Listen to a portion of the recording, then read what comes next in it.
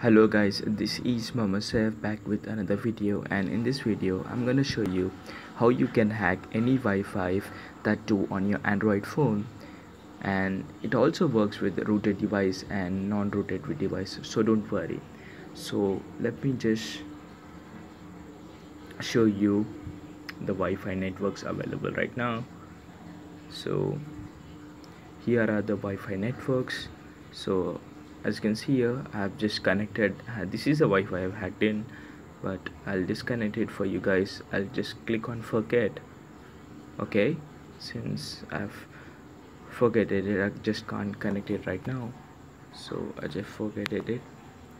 So all you have to do is go download this app named android dumper which is available on play store and i'll make sure to put the download link in description. Just click on it it will scan make sure you on the location. So here's the wi-fi which we were trying to hack in. Just click in. Just click on try connect. And you, you could choose the two two methods either of two methods. Since I've rooted my device I'll be clicking on the rooted method and click on no custom pin and let it do its thing and let's wait till we get our password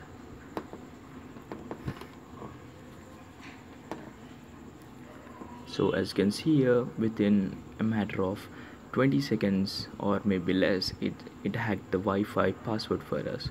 So just copy the password. And let me just forget it. Okay just paste it. Now it's connected as you can see here.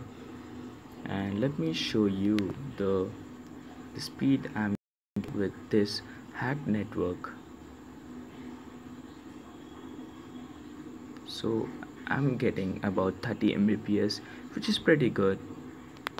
So make sure this tricks only this uh, this app only hacks the password the Wi-Fi we have which has VPS connection. So thank you guys. Make sure to subscribe